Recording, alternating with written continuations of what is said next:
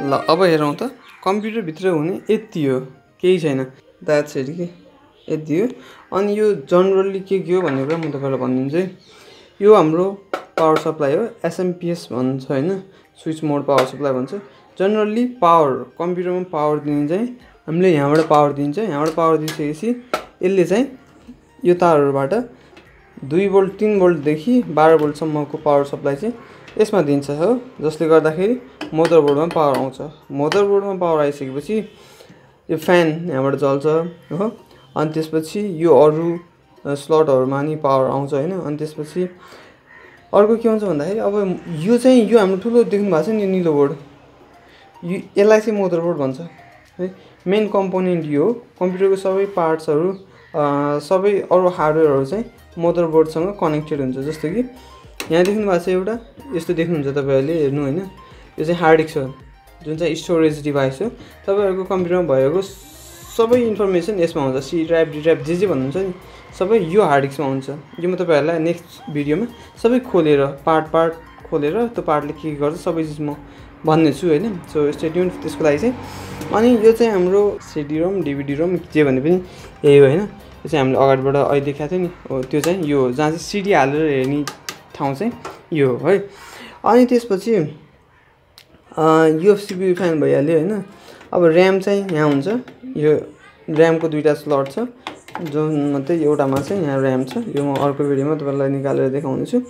अनि त्यसपछि अब यो हार्ड डिस्क हार्ड डिस्कको केबल यो साटा केबल हो है।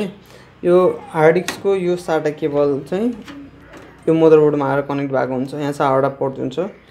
अनि यो सिडी रोमको साटा पोर्ट पनि आएर यहाँ मदरबोर्डमा कनेक्ट हुन्छ। अनि यहाँ देख्नुहुन्छ यो एउटा ब्याट्री यसलाई सिमोस ब्याट्री भन्छ। अनि तपाईँहरूलाई थप अरू केही ग्राफिक्स कार्डहरू केही राख्नु पऱ्यो अरू केही एक्स्ट्रा केही थप्नु पऱ्यो भने चाहिँ LAN card graphics card sound card केही इन्टरनल थप्नु पऱ्यो भने चाहिँ यो पोर्टमा ल्याएर हालिदिने हो। जसरी यो यो छ नि जसरी यो अहिले देख्नुभयो नि यो। पहिला चाहिँ डायलअप युज गरेर नेट चलाउने नेट चलाउने चलन हुन्थ्यो कि। त्यसको लागि चाहिँ यो ल्यान्ड कार्ड थिएन यसमा।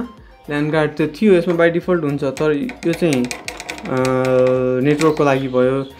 यो चाहिँ आरजे इलेभेन है आरजे इलेभेन अनि त्यसपछि पहिला चलाउनु भएको थिएन होला सिडिएमए डायलअप युज गर्दाखेरि चाहिँ यसमा चाहिँ टेलिफोनको तार हालेर अनि डायलअप कनेक्सन गर्नु पर्थ्यो। सो इट्स भेरी इजी न हाम्रो एज सो यति नै हो है अनि यो छ नि देख्नु भएको छ नि यो यो अल्मोनियम सिङ्क हो होइन यसले चाहिँ मोदरबोर्डलाई चिसाउने काम गर्छ अब यो फ्यानभन्दा तल हेर्नुभयो भने फ्यानभन्दा तल पनि ठुलो अल्मुनियम सिङ्क छ है यसको काम पनि यही सिपियुलाई सेलाउने काम हो अब यिनीहरू रोम भइहाल्यो होइन यो अरू चाहिँ अब ट्रान्जिस्टर क्यापेसिटर आइसी यो चाहिँ सबै अनि यो सानो रजिस्टरहरू होइन सबै it looks complicated but it is not के त्यस्तो धेरै कम्प्लिकेटेड छैन होइन किन भन्दाखेरि हामीलाई त्यो सानो चिजहरू केही बिग्रियो भने त्यो सब रोबोटले एसेम्बल गरेको कुराहरू होइन so that's beyond our capacity बिग्रियो भने चेन्ज गर्नको लागि अथवा रिप्लेस गर्नको लागि अल्दो सम क्यापेसिटरहरू यस्तो ठुल्ठुलो क्यापेसिटरहरू होइन अर्को बोर्डको ठ्याक्क पाइयो भने चाहिँ हाल्न सकिन्छ चेन्ज सकिन्छ कतिपय ठाउँमा काम गर्छ कतिपय ठाउँमा काम गर्दैन। त्यतिको एडभान्स लेभलको चाहिँ कमै रिपेयर हुन्छ होइन। अनि त्यसपछि के छ अर्को के हुन्छ भन्दाखेरि हाम्रो यहाँ चाहिँ युएसबी युएसबी र साउन्डको लागि चाहिँ यहाँबाट मदरबोर्डको यहाँबाट चाहिँ यो युएसबीको हो? अनि यो चाहिँ पावर बटनहरूको यहाँबाट चाहिँ पावर बटनहरूको यहाँबाट गएको हुन्छ होइन। पावर बटनले काम गर्ने रिसेटले काम गर्ने यहाँबाट गएको हुन्छ। अनि युएसबीको लागि यहाँबाट गएको हुन्छ र साउन्डको लागि यहाँबाट गएको हुन्छ।